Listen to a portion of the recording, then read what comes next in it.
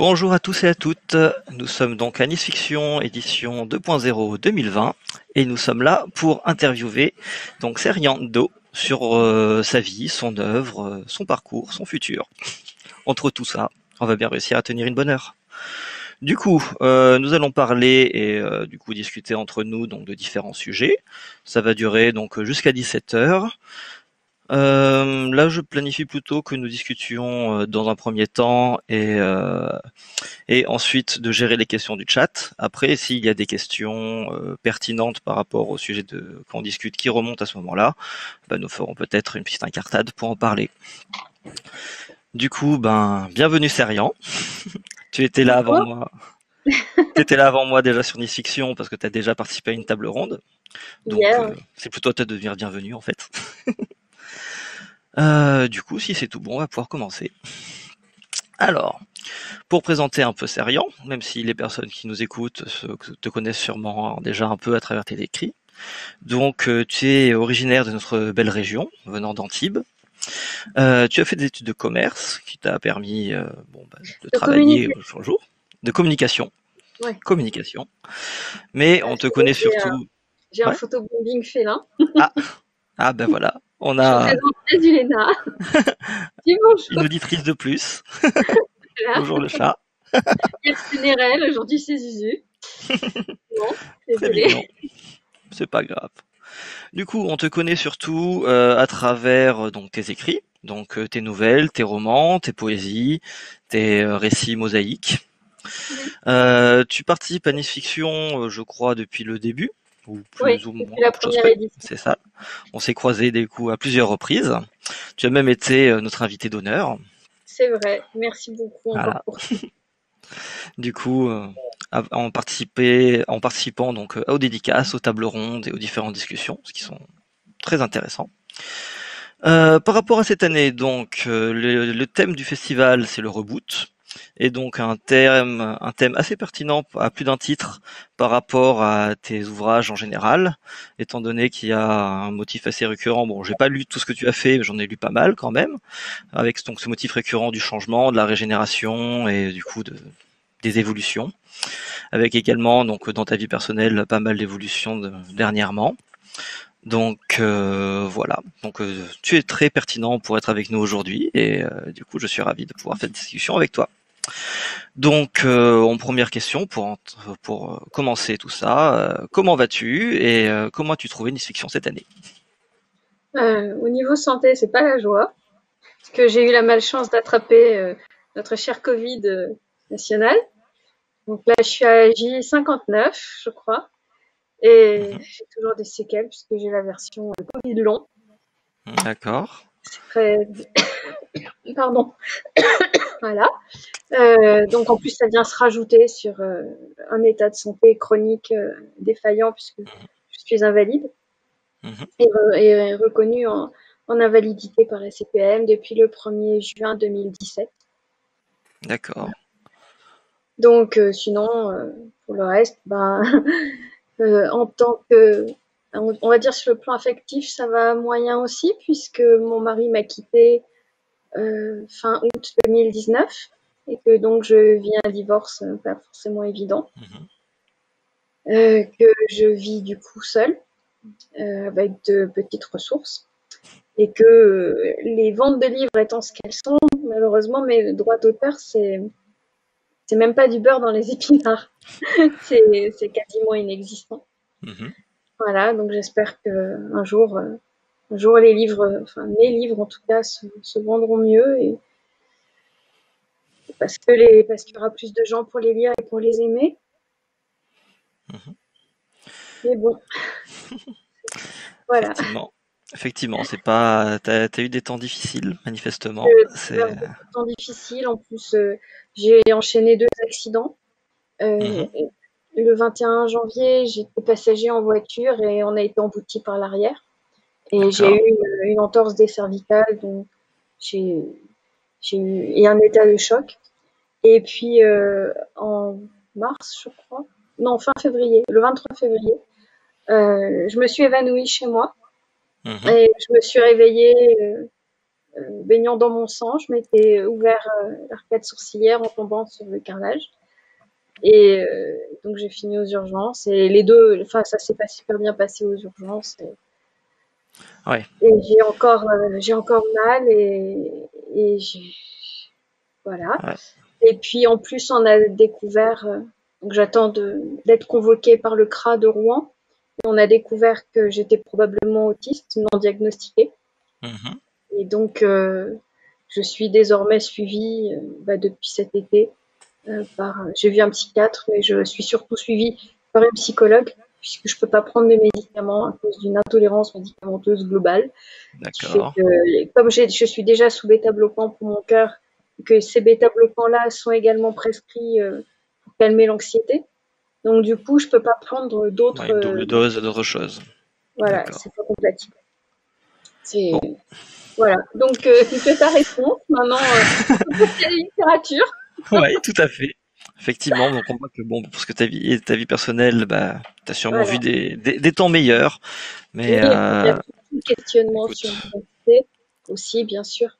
on te souhaite de, oui, par rapport à, effectivement, on te souhaite du coup de te relever de tout ça et euh, bah, le meilleur rétablissement possible, que tu trouves ton renouveau, pour en revenir au thème.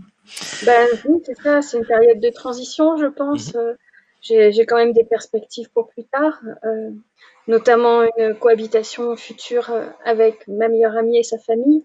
Mhm. Euh, elle a, elle a à peu près, on a à peu près le même âge, elle est handicapée aussi, ce qui fait que euh, on, a pré- on a prévu de, de, de vivre de façon solidaire et de s'entraider les uns les autres. Donc, ça sera plus facile à vivre puisque je, je serai plus seule et que je serai entourée de, de gens bienveillants et, et aimants. Donc, Oui, ça sera un, un foyer plus euh, on aura des poules pour les œufs. voilà. Ah, ça chance c'est bien. à la campagne. C'est pas, c'est parfait, c'est parfait. Ouais. Ça sera un cadre un peu plus euh, tranquille. Enfin, tranquille, je sais pas. Ça aura peut-être plus d'animation. Donc, il y a peut-être plus propice à un Bah, elle est- réépanouissement. Elle est écrivain aussi, donc euh, on a prévu de se faire des séances d'écriture et, et de se lire mutuellement. Pour, euh, Ah, ça c'est bien. coup, je pense que nos, nos livres pourront progresser comme ça de concert. Effectivement, ça sera sûrement une bonne chose pour euh, pour le syndrome de la page Pour blanche deux. ou pour tout le Pour monde, pour, les, pour vous deux, pour vous deux, Ouais. tout à fait. Du coup, pour parler littérature, effectivement. Donc, je suis mes petites questions. Mhm. Euh, par rapport du coup au thème euh, du renouveau, du reboot, euh, du recommencement. Donc, comme je l'ai dit dans l'introduction, c'est assez récurrent dans tes écrits. Un retour du passé, mais pas un simple retour traditionnaliste, brutal, mais voilà, un passé régénéré, réinventé, qui reprend certes des valeurs, mais également tout un rapport à la nature, à la féerie, notamment à travers différents ouvrages, mais également de manière plus spirituelle. Euh, D'où te vient cet attachement à ce thème et euh, comment tu le vis au jour le jour?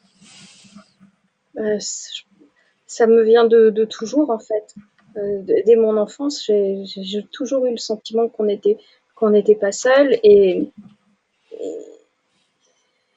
j'ai toujours cru aux êtres féeriques, aux êtres mythologiques. Enfin, j'y crois pas de façon primaire, on va dire.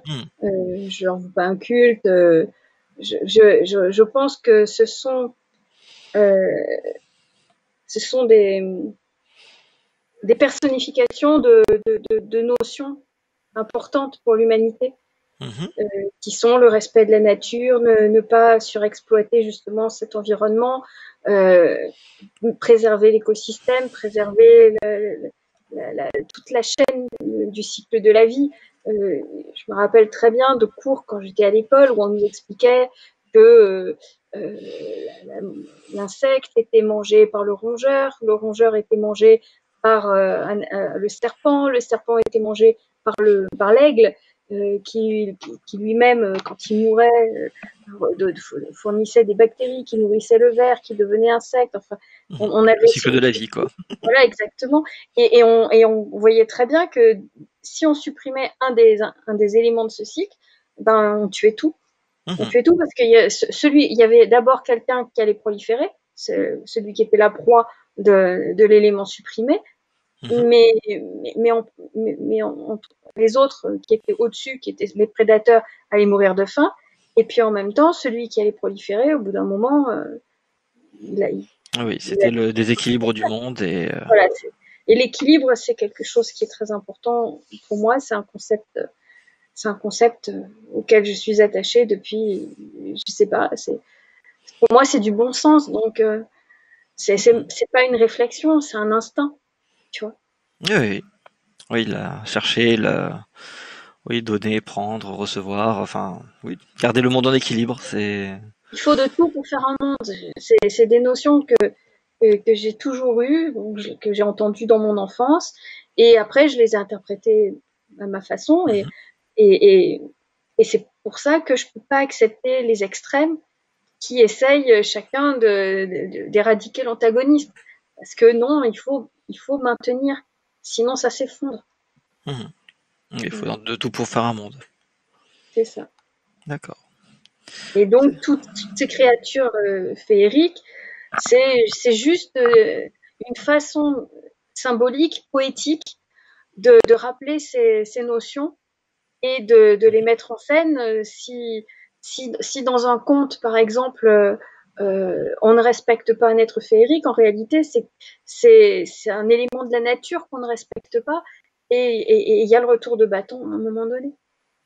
Oui, que même si l'homme peut essayer de domestiquer et de, de prendre le contrôle de la nature, bah, au final, euh, il pleuvra toujours, les rivières couleront toujours et on on aura fait de construire gros des barrages. efforts, on plante, etc. Et puis on a un orage de grêle et puis tout est ruiné. Mhm. Il faut, faut, faut, faut respecter euh, la nature. Faut pas, et il faut se rappeler que euh, elle est pas toute bienveillante. Mhm. Et que, euh, et- et- voilà, c'est ça. Faut respecter ce qu'elle est Oui, dans, dans savoir, sa rester, humble. Voilà, exactement. Et, et quand j'ai des, des légumes ou des fruits dans mon jardin, ben je prends ce dont j'ai besoin. Et Mhm. puis tout ce qui m'est pas accessible, je, je crise pas parce que je peux pas l'attraper. C'est pas grave, ça va être mangé par des oiseaux, ça va, ça va, les fruits vont tomber et puis vont, vont fertiliser le sol. Enfin, c'est jamais perdu, c'est jamais gaspillé. C'est, Mhm. pas parce que moi je vais pas le consommer que c'est perdu. Mhm. Voilà, c'est une logique qui fait que je ne suis qu'un composant d'un tout. Je suis pas supérieur ou prioritaire par rapport à, à tout le reste. Mhm. Voilà. D'accord. Oui, et comme tu disais tout à l'heure, avec euh, la nature qui n'est pas forcément bienveillante, c'est que la nature, elle n'est pas ni bienveillante ni malveillante. Elle l'est, Elle a, et, elle a pas de valeur nous, on morale, doit vivre avec elle, quoi, effectivement. c'est ça. C'est à nous de nous adapter quelque part. Mhm. C'est nous de nous adapter à elle et pas à la plier à nos désirs. Ouais. Effectivement. Oui, d'ailleurs, par rapport à tes écrits là, bah, souvent ce qui touche à la féerie, donc euh, avec toi comme auteur, mais également, je pense à d'autres d'autres écrits, mais euh, avec du coup à tout ce qui est être féerique, un peu plus euh, sombre et où au final l'homme est là, mais l'homme ne fait partie que bah, de l'environnement également. Donc nous en souffrons et, et au final, bah, tout se passe comme ils le veulent. je sais pas si je m'égare pas un peu. Bref. Ok. Euh, pour continuer, euh, d'ap- d'après tes écrits également, euh, j'ai pu noter à plusieurs reprises que tu ne voyais pas forcément le monde en noir et blanc, que tu avais une tendance à, à refuser le manichéisme, les dualités caricaturales, simplistes, les binarismes bien, bien, bien incarnés. Au fil de tes différents ouvrages, on peut retrouver euh, souvent des triplés de, de force, comme le blanc, le noir, le rouge, euh, le chaos, l'ordre, l'équilibre, ou des personnages euh, femelles, mâles ou autres entre deux. Euh, cela fait aussi un peu écho avec euh, donc ta situation personnelle. Euh, et ça a l'air d'être une euh, de tes pensées fondamentales donc euh, dans ta perception du monde et dans tes écrits. Et du coup, euh, c'était pour savoir si tu pou- pouvais nous en parler un peu plus. Bah, je, je pense que tout va toujours par trois. Ça, c'est la base du conte, c'est la base du rythme ternaire, c'est la base de la pensée indo-européenne. qui construit sa société de façon tripartite. Et le manichéisme, je, il, pour moi, il est, il est pas à sa place chez nous. C'est, pas, pas logique. Je, je, je trouve que c'est, c'est incomplet, c'est, frustrant, c'est pas juste. C'est, c'est jamais tout blanc ou tout noir, c'est jamais tout bien ou tout mal. C'est exclusif. Si on n'est pas dans un camp, on est dans l'autre et il n'y a pas d'autre choix. C'est ça. Et, et je suis pas d'accord. Je suis pas d'accord pour euh, pour les clivages. Je je pense qu'il y a du bien et du mal près partout. Après, c'est sûr qu'il y a par moment, par moment, les proportions font y a, il y a il y a, il y a des, il y a des, il y a des des pensées, qui, des, des, morales, des, des, visions des choses qui sont beaucoup plus mauvaises que d'autres, euh, parce qu'elles sont beaucoup plus mauvaises pour l'intérêt général. Après, euh, d'un point de vue philosophique, la personne qui est en adéquation avec cette pensée, elle la trouve bonne pour elle. Donc intrinsèquement, est-ce qu'on peut réellement parler de bien absolu et de mal absolu? J'arrive pas à trouver la réponse. Et j'arrive pas à, à, trouver un bien absolu et un mal absolu. Mmh. Pour, c'est j'aimerais hein, je, je, pense que comme beaucoup d'humains euh, surtout passionnés et tout j'ai une quête d'absolu. Mais je me rends compte que, que en, en, pratique l'absolu ça n'existe pas. Oui, on peut tendre vers mais, mais on, on, ça n'existe pas. Et, et, donc on ne peut pas être intransigeant. On ne peut pas être extrémiste. Si on l'est on on nuit à l'intérêt général. Parce que forcément on, on va vouloir rejeter euh, tout ce qui ne relève pas de l'extrême, tout ce qui ne relève pas de l'absolu. Et on se rend souvent pas compte que même soi-même, on n'est pas dans cet absolu. On est, on, on est, aucun de nous n'est parfait. On a tous des failles et, et, et, et, aucun de nous ne peut prétendre être, être parfaitement bon, être parfaitement bien. On peut pas l'être euh, non-stop de toute façon. On va forcément se planter un jour. On va forcément dire une bêtise un jour. On va forcément euh, euh, être euh, bah, répéter les, erreurs qu'on nous a enseignées quand on était enfant, parce que euh, ceux qui nous ont formés, ceux qui nous ont éduqués, euh, avaient leur mode de pensée qui lui-même contenait des erreurs. Et le temps que nous, on en prenne conscience, qu'on soit capable de les déconstruire et de reconstruire quelque chose de plus juste, ben, dans l'intervalle, on en a fait des erreurs et on en a dit des bêtises et on en a pensé et, et, et bon après moi je sais que j'ai tendance à beaucoup culpabiliser et à pas me pardonner les, les erreurs que j'ai pu commettre mmh. et, à, et à essayer d'œuvrer pour, euh, bah, pour, non seulement pour ne plus en commettre mais peut-être aussi pour euh, pour gagner ma rédemption par rapport euh, aux erreurs que j'ai pu commettre par le passé. Mmh. Voilà. Et c'est pas du tout dans une optique religieuse. Mmh je, je, je, pratique aucune religion. Je, je me suis sentie proche du paganisme pendant une époque, euh, tout en ayant eu une éducation dans l'enfance euh, très catholique. Mais j'étais pas très pratiquant. Et, et ce catholicisme auquel j'ai été confrontée était extrêmement intolérant et extrêmement traumatisant. J'en porte encore des séquelles. Ouais. Mais, mais c'est vraiment, vraiment une, plus une question d'éthique, d'éthique personnelle qui fait que je, je veux être une bonne personne. Je, je, je, je veux, je veux donner de l'amour autour de moi. Je, je veux accepter les, les, différences de la même façon que je voudrais que mes différences et particularités soient acceptées. Mmh. Et chaque fois que je vois le monde être cruel, être injuste, être, être clivant, euh, être phobe, ça m'atteint personnellement, même si je suis pas forcément la cible. D'accord. Du coup, de Donc, ce que je... aussi...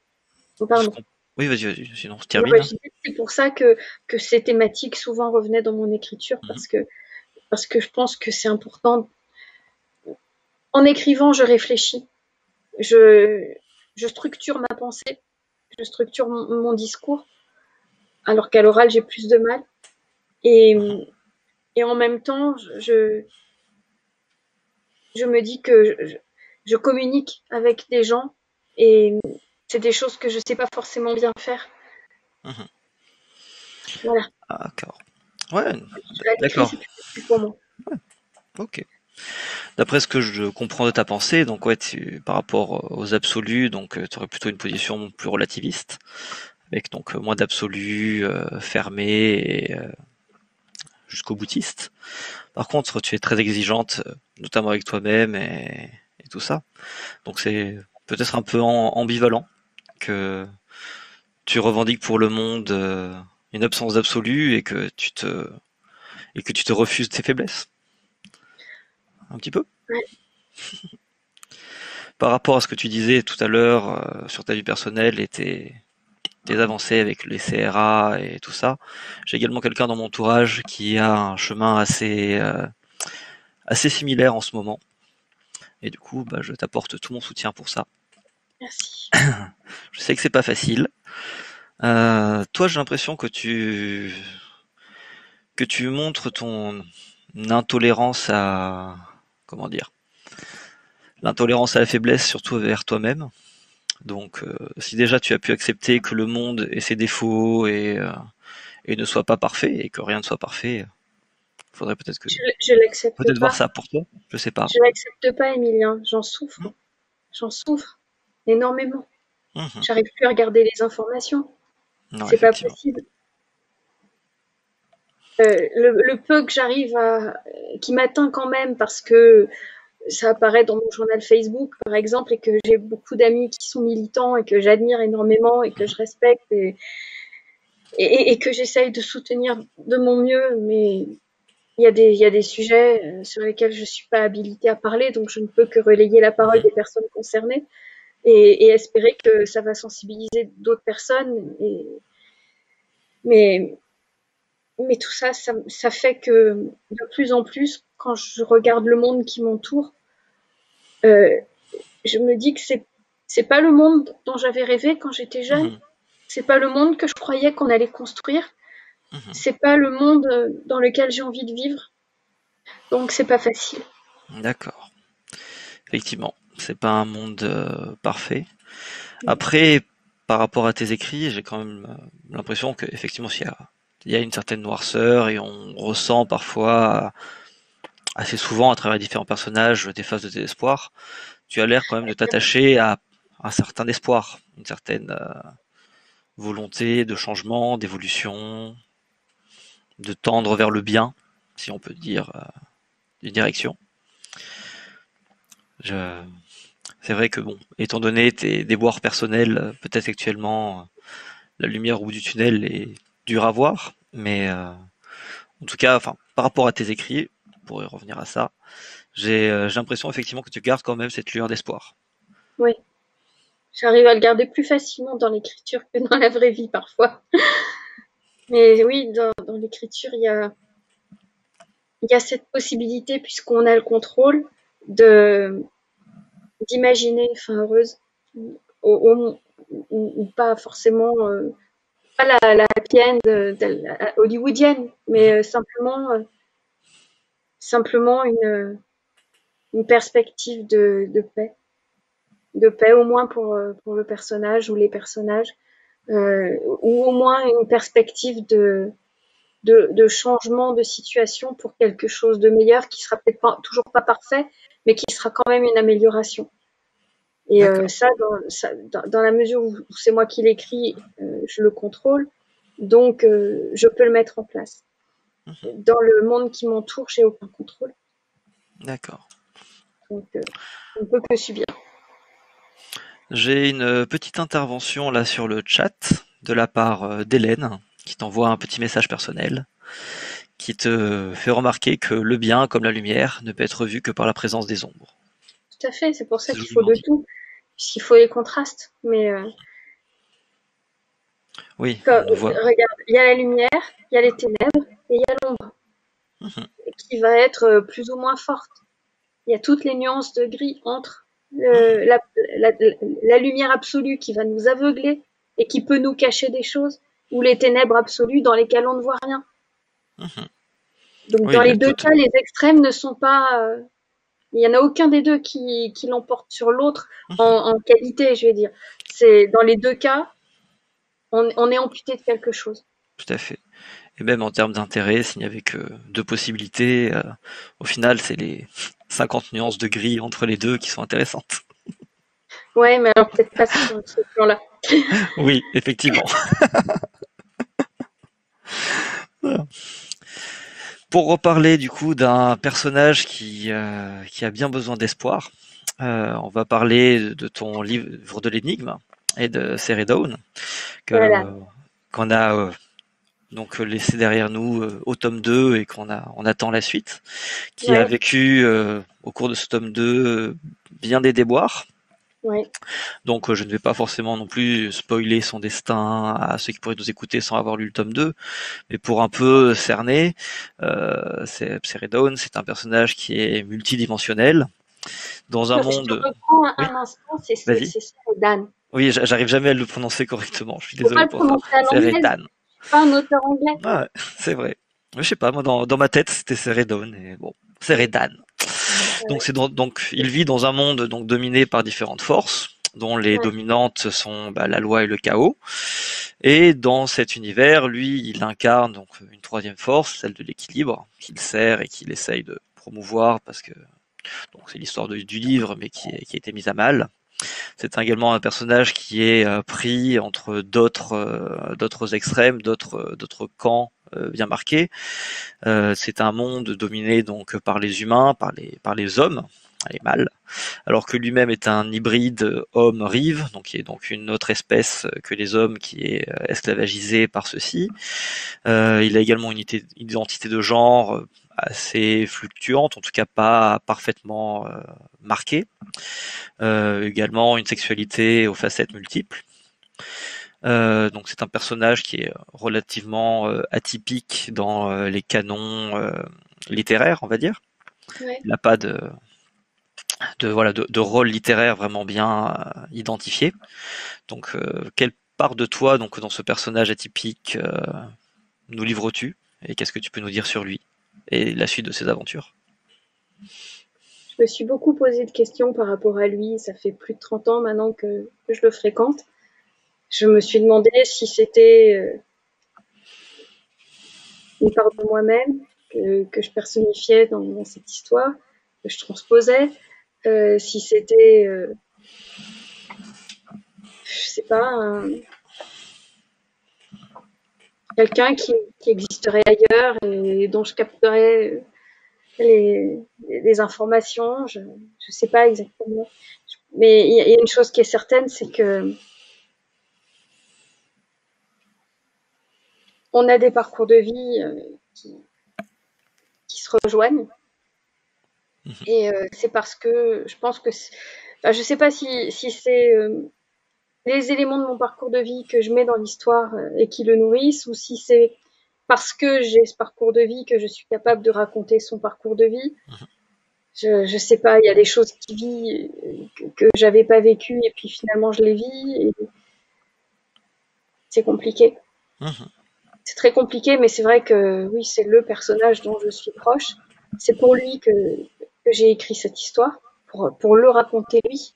C'est pas du tout pour raconter Cerdric qui, euh, euh, qui, qui m'a servi en fait à, à rentrer dans, dans, dans, cet univers, mais, mais c'est pas du tout lui mon, mon personnage principal.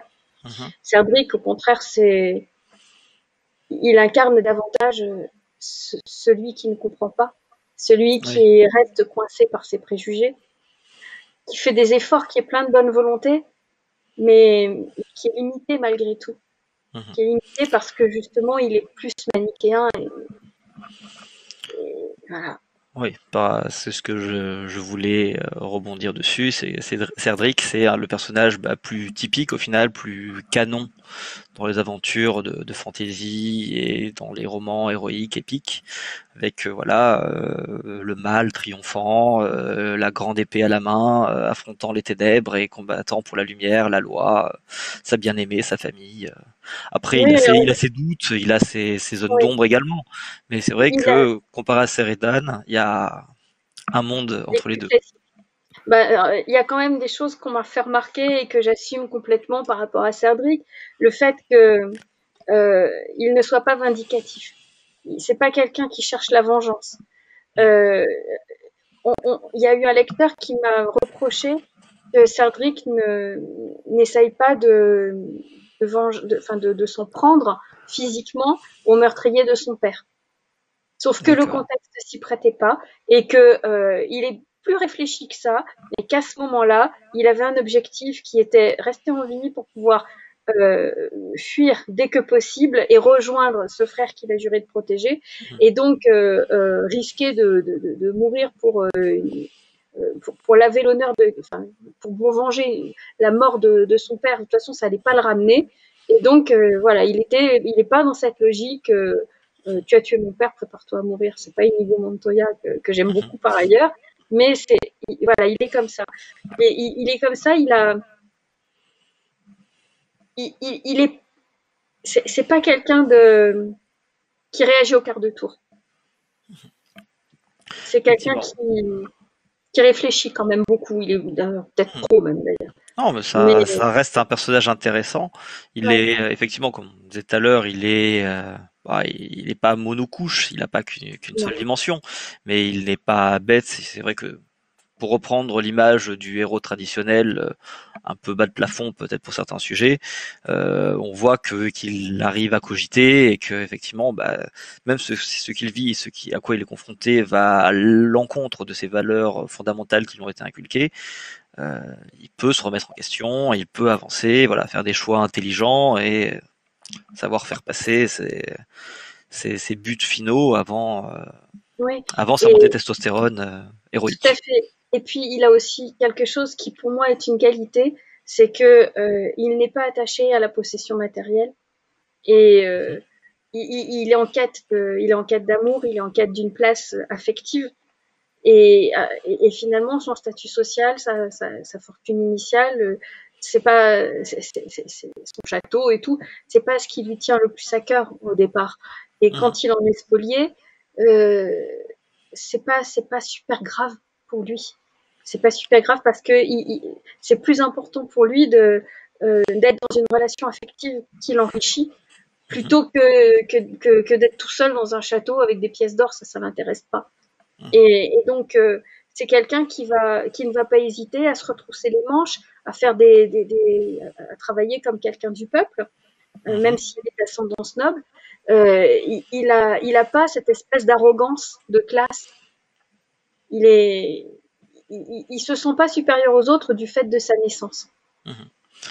Après, c'est vrai que par rapport au roman, dans sa naissance et quand la façon dont il raconte son enfance, on voit que bien que noble, il a, il a ce rapport euh, très difficile avec sa mère qui euh, ne l'accepte pas et ce père absent qu'il ignore et qu'il recherche. Lui-même s'est pris bâtard que... pendant des années, donc du coup, ça, ça a effectivement fait en sorte qu'il était peut-être plus euh, réceptif par la suite aux difficultés mmh. de, des, des, autres personnes. Mmh. C'est vrai que du coup, même s'il est né du coup avec une cuillère d'argent dans la bouche, il a ce côté, ben, effectivement, bâtard qui me rappelle un peu, ben, peut-être dans l'Assassin Royal avec euh, Fille de Chevalerie. Oui, mais lui, qui, a, pas, qui a un statut différent, qui lui est vraiment un bâtard, mais effectivement, euh, leur rapport à la royauté, je trouve qu'il y a une, certaine, une certaine proximité, même si les situations sont différentes. C'est intéressant.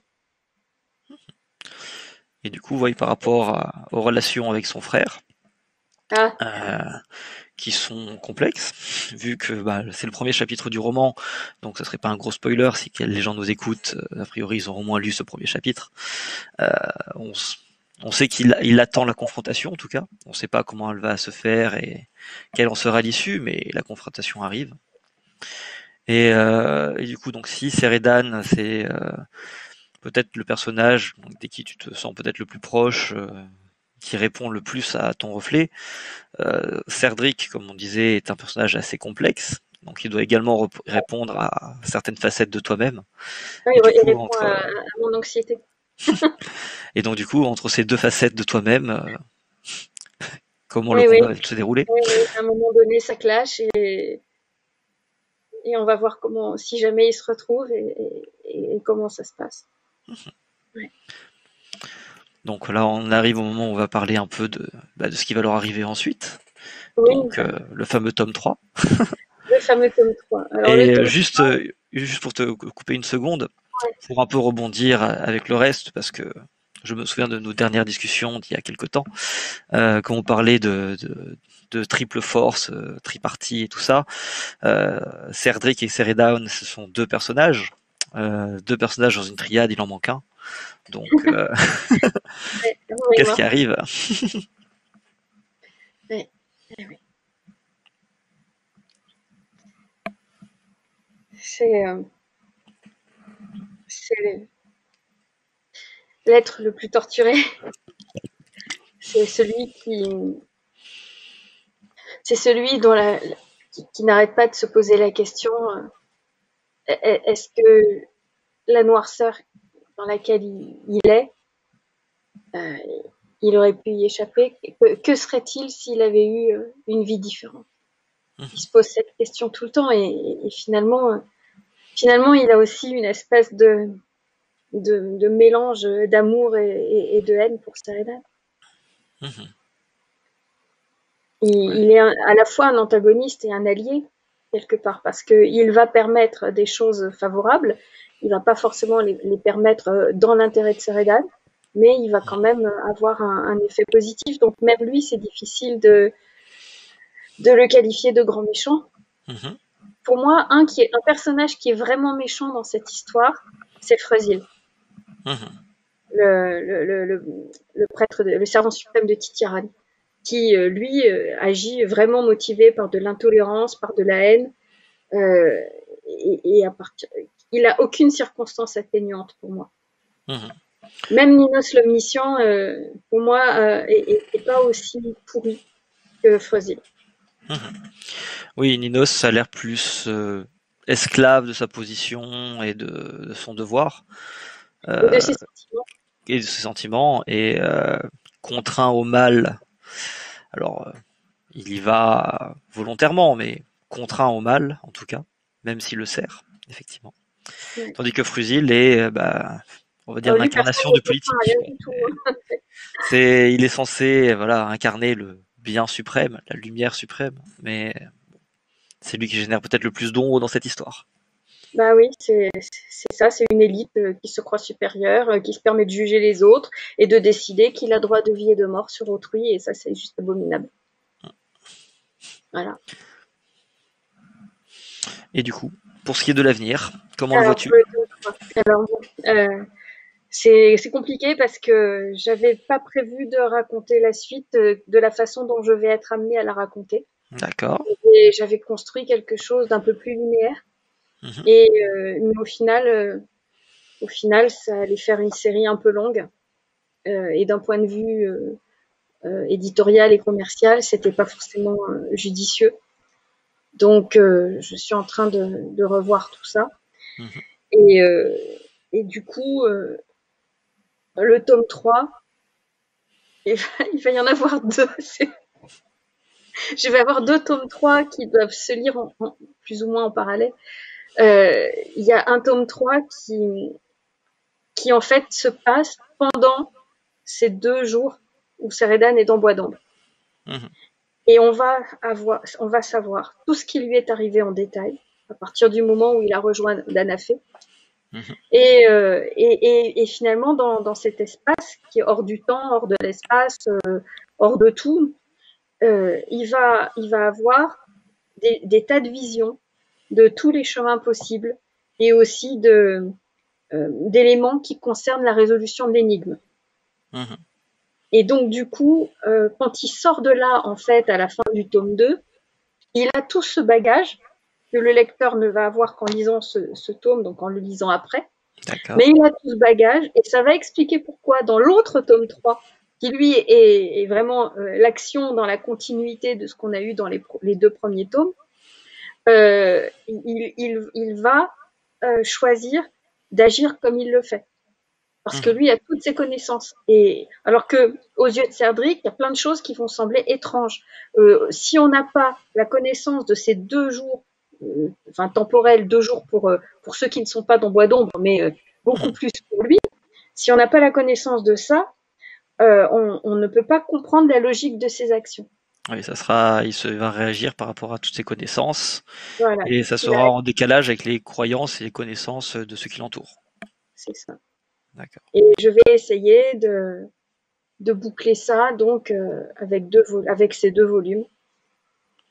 Qui du coup sortirait en même temps ou qui serait en séquence? Je sais pas. Il faut que j'arrive à, à, me dépatouiller de tout ça. Après, c'est vrai que la vie m'ayant euh,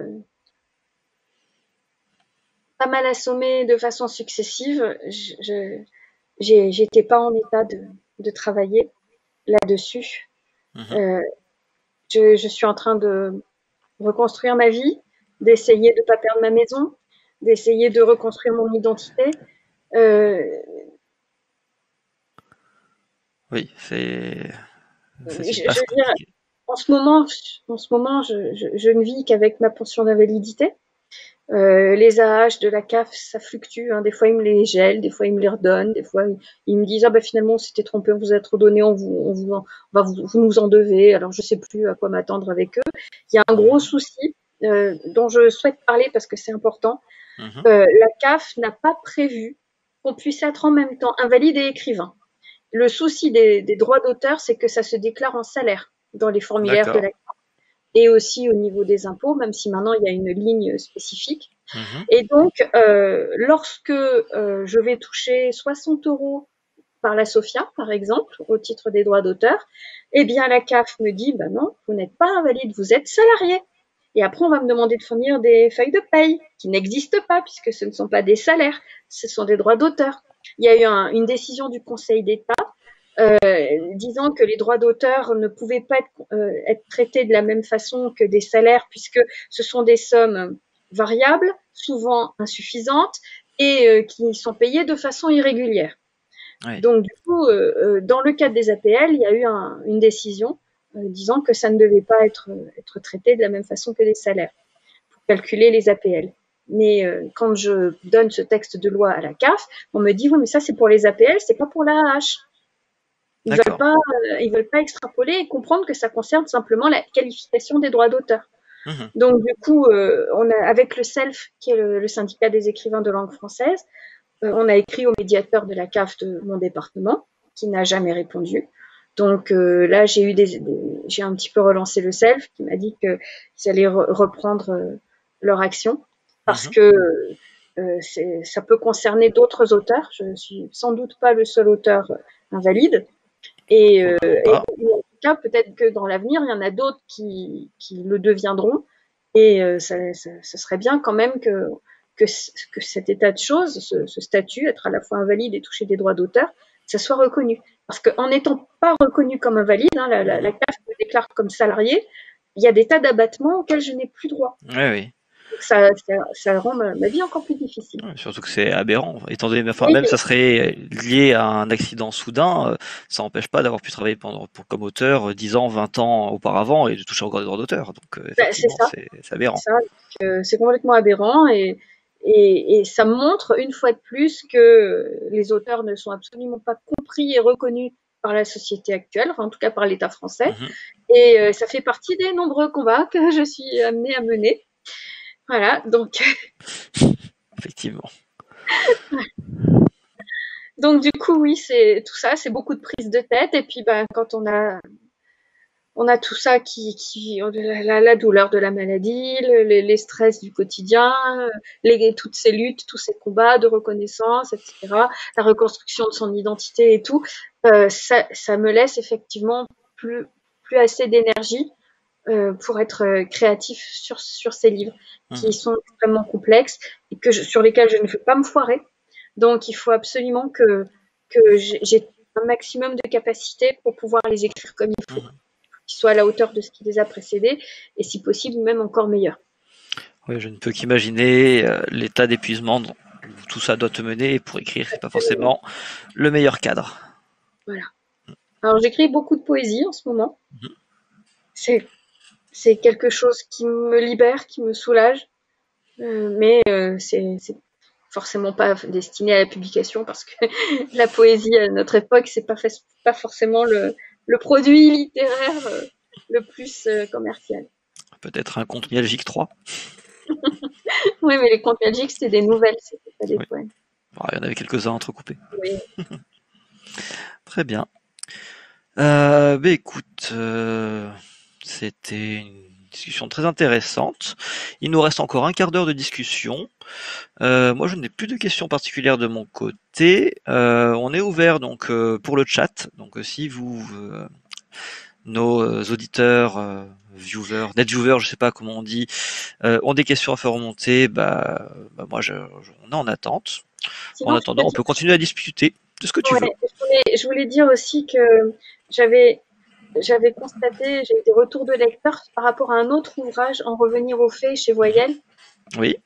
parce que euh, quand je l'ai écrit il y a déjà un certain nombre d'années, j'imaginais absolument pas qu'il il allait résonner de façon limite prophétique avec le, le confinement qu'on vient de vivre.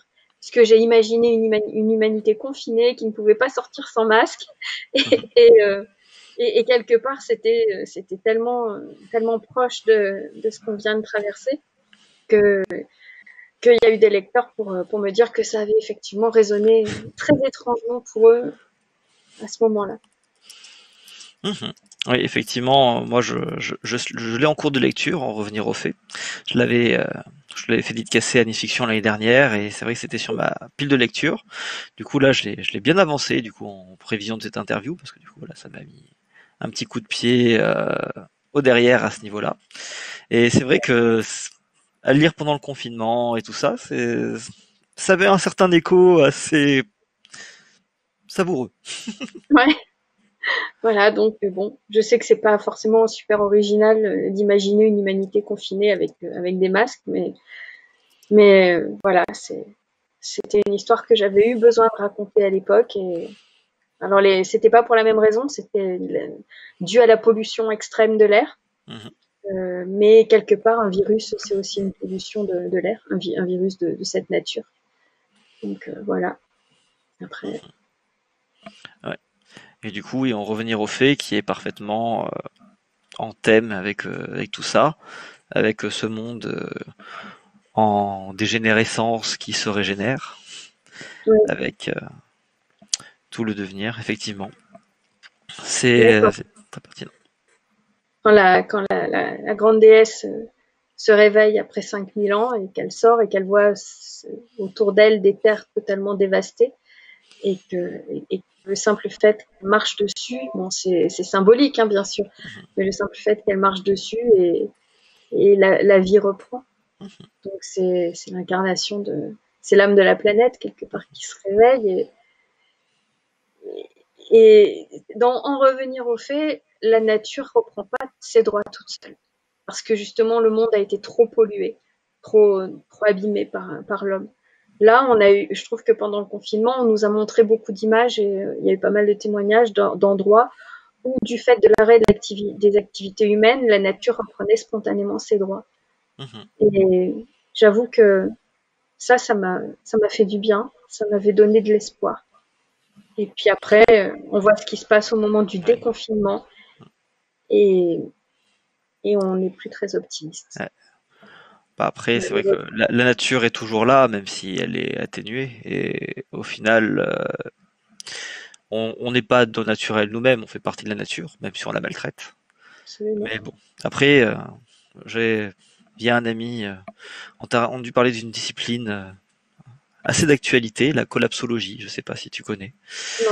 C'est voilà, c'est euh, l'étude de l'effondrement euh, possible des sociétés, tout ça. C'est assez intéressant.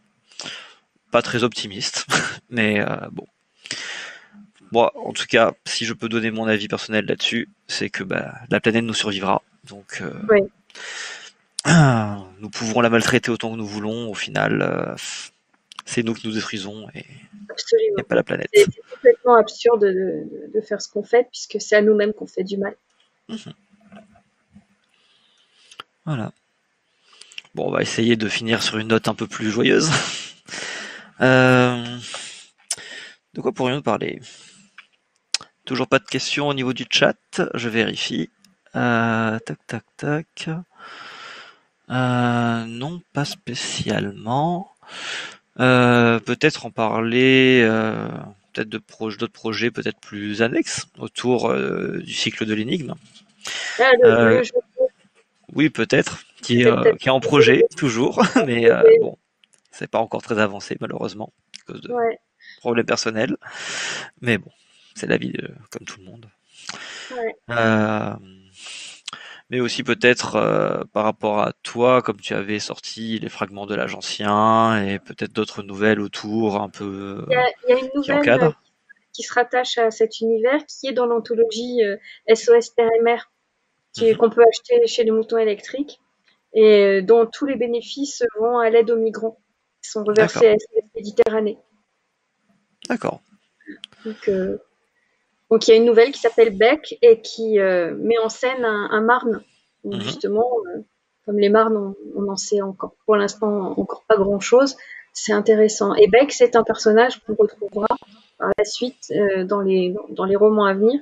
Mhm. donc, c'était aussi une bonne introduction de, de ce personnage. C'est un marne qui était euh, bah, esclave à Atilda. Hmm. Et lorsque Seredan fait s'effondrer le, séminaire, enfin, son affrontement avec un vrai mort provoque l'effondrement du séminaire, ben, finalement, ça va, euh, les, ondes de, cet effondrement vont fissurer, vont fissurer la, la geôle dans laquelle Beck était emprisonné mhm. et il va avoir l'opportunité de s'évader. Et d'ailleurs, il survole les, les, ruines du séminaire sans savoir, lui, de quoi il s'agit et euh, il va retourner vers une forêt sauvage euh, dont il dont il pense être euh, originaire même si lui est né en captivité. Mhm. et, et, et, puis ben du coup quand il arrive il n'est pas forcément bien accueilli puisqu'il a été entre guillemets souillé par, par l'homme. Oui c'est plus un marne sauvage. voilà donc les, les, les, marnes qui sont dans la forêt sauvage se méfient. Et lui disent des mots qui, qui, qui sont un peu ceux qui ont pu être dits euh, par euh, nos concitoyens lorsque les migrants ont commencé à, venir vers chez nous pour échapper à, leurs conditions difficiles. Oui, reflet de la xénophobie. Euh, c'est ça. C'est toujours difficile. on ne se rend même pas compte que, ce sont des frères humains qui viennent à nous et on les rejette pour de très très mauvaises raisons, je mhm. trouve. Enfin voilà. Oui. Après, peut-être que, y a, enfin, peut-être. Il y a plein de gens qui doivent penser que je suis extrêmement idéaliste et utopiste. Mais, euh, je crois que si on n'essaye pas d'ouvrir son cœur, si on ne se rappelle pas que, que l'amour euh, de son prochain, c'est quelque chose qui est inépuisable, et euh, c'est pas parce qu'on va aimer plus de gens qu'on va être moins capable d'aimer, au contraire. On va être de mmh. plus en plus. C'est si on refuse d'aimer qu'on on assèche son cœur et que justement, ça devient de plus en plus difficile d'accueillir les autres à l'intérieur de ce cœur. Mhm. Et donc, euh, donc voilà, euh,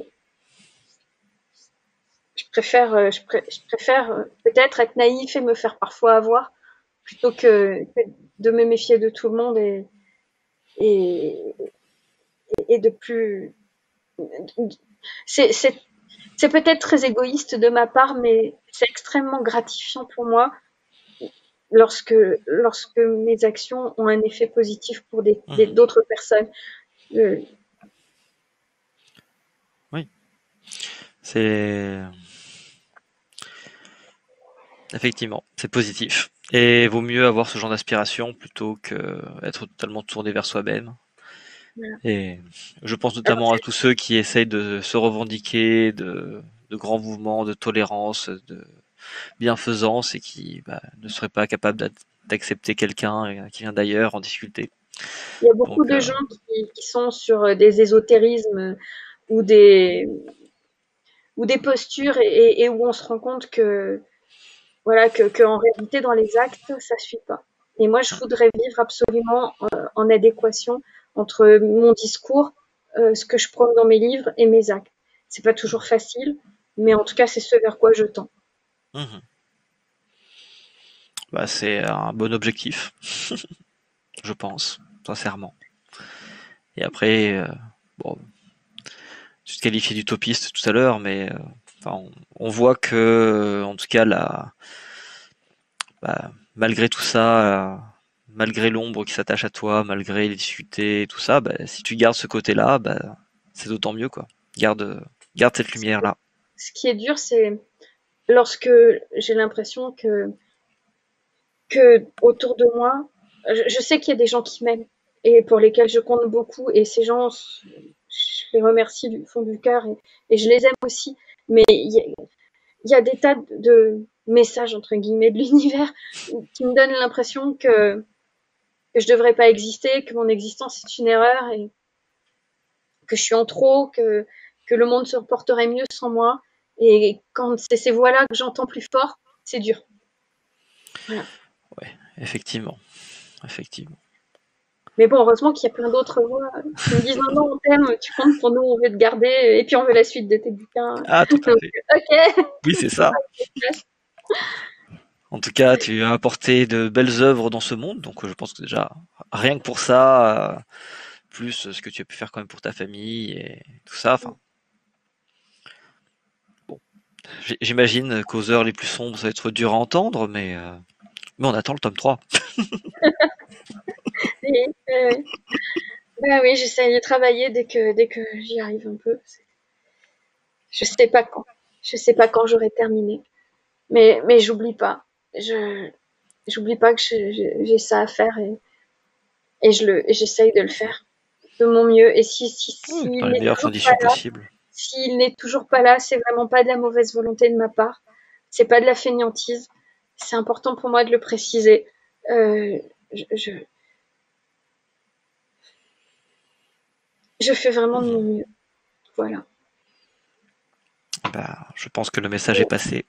En plus, j'ai plus d'alpha lecteur hein, parce que c'était mon mari. Donc, là, j'ai des pistes pour remettre des choses en place. Bah, espérons que ta ton association avec euh, ton ami d'écriture euh, sera peut-être fructueuse pour ça aussi. Oui, bien sûr. voilà. Ah ben parfait.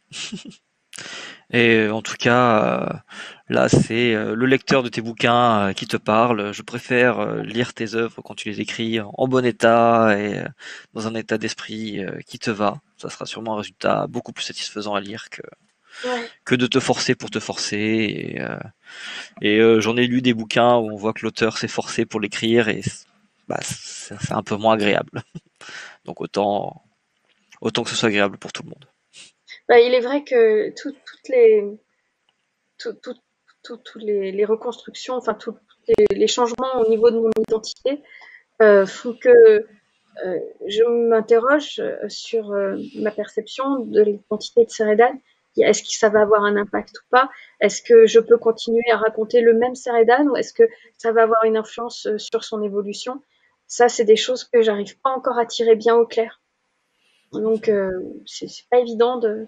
Je, suis en train de travailler, ça se voit pas, je suis peut-être pas en train de rédiger, mais en fait, là-dedans, ça, ça, tourne tout le temps pour essayer de, de justement euh, construire ce, ce tome, ce, ce, ces tomes mhm. qui, qui, vont arriver.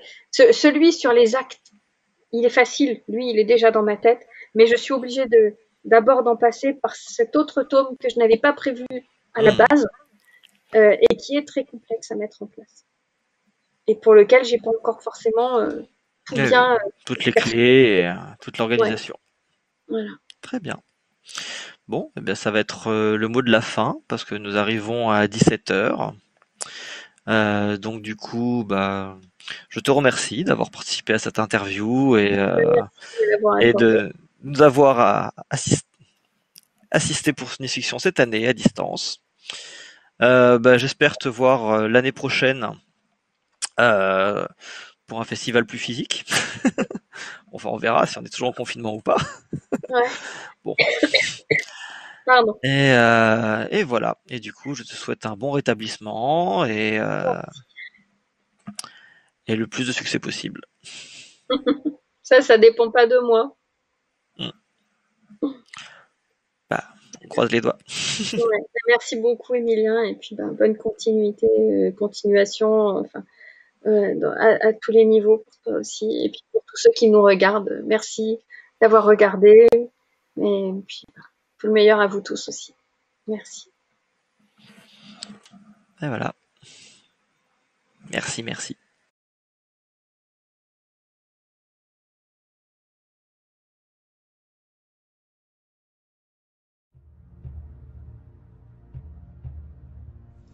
Cette table ronde vient de se terminer, mais le festival continue tout le week-end. Le programme complet est disponible sur nice-fiction.fr. Les stands vous attendent sur notre serveur Discord. Pensez également à visiter nos expositions 3D et n'hésitez pas à intervenir dans le chat des conférences et tables rondes si vous avez des questions.